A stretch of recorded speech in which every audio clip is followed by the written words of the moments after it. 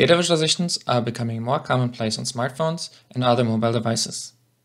People export timelines of stocks and track the number of steps in health apps.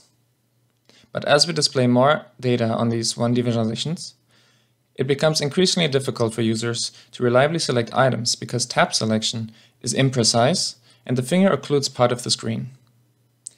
We suspected that people select more accurately with selection techniques that provide visual feedback during the selection.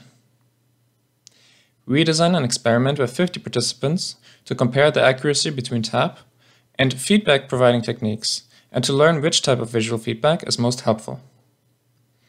For the task, we asked participants to select a target item, highlighted in red, from a vertical list of items.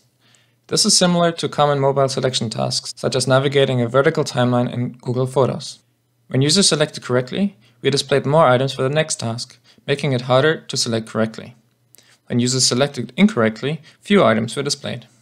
For the techniques, we compared the conventional tap interaction with three techniques with visual feedback.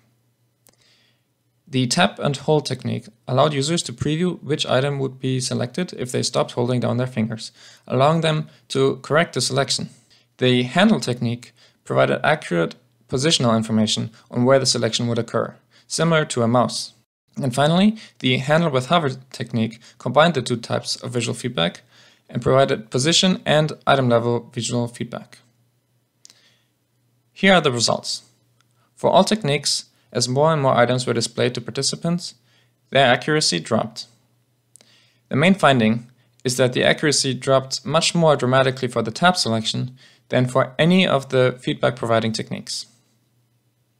At 75% accuracy, participants could only select the target item from 60 other items using tap, whereas they could select it from 176 to 250 items using one of the other techniques. That is a dramatic difference that validates our hypothesis that providing visual feedback allows users to interact with more data accurately. Within the three techniques with visual feedback, the handle with hover technique that provides positional and item level feedback performed best, but we did not find a significant difference in our hypothesis testing. For task times, users took about 1.2 seconds to do a tap selection, and 1.4 to 2.3 seconds using the other techniques for a comparable range of task difficulty. For difficulties that were not reached using tap, participants took up to 3 seconds using the visual feedback techniques. In summary, providing any type of visual feedback using drag-based selection techniques improves selection accuracy 3 to 4-fold and allows users to reliably interact with more data on a 1D visualization. This comes at the cost of a small increase in task times. The paper is available online as open source at osf.io slash spmv9. There you can also find our data and our analysis routines for full transparency and replicability. Thank you.